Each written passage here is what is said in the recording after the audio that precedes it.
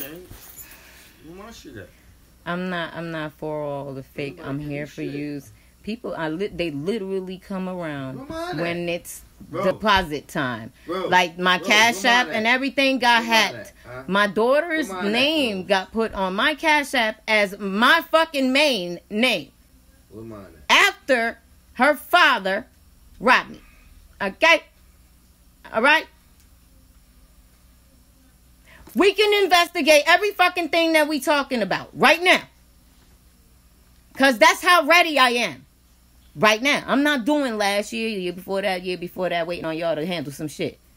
Fuck that. Pardon my French. Frenchy.